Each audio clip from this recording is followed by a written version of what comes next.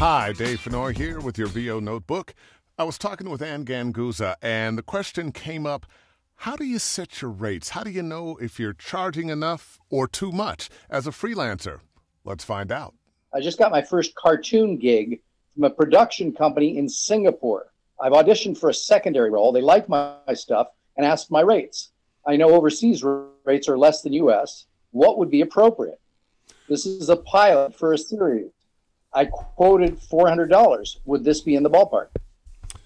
Um, being a freelance uh, and a lady, first, go ahead.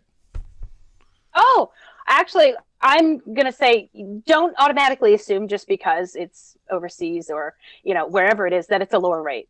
You know, you have your rates and those are rates that you establish that are, uh, that, that, that are, are your fair rates. And so I always say, you know, in the business of negotiation, you know, quote high. I mean, you don't want to quote sky high. That's something completely ridiculous, but you know, start high because then you can negotiate afterwards. So, you know, I'm all about these are my rates. And if, you know, and if you, you, you know, I, I, if you will accept them, then that's awesome. And if you don't, that's okay. I can say no and find another client that will pay my rates. Yeah. So it, I just kind of made it cut and dry like that.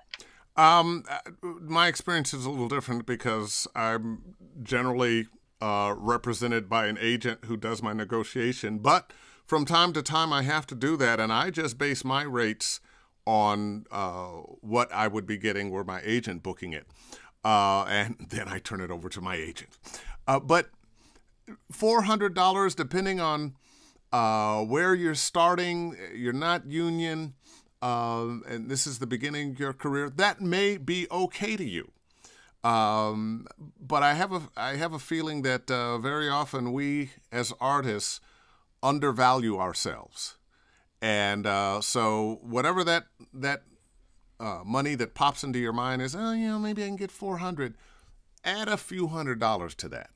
Go for six. Yeah. Go for eight. Uh, see what the client says. If they really like you and they, oh, you know, that's not in our budget. Well, as Anne was saying, now you've got some wiggle room there. Make sure you're charging what you're worth, and I bet you're worth more than you think you are.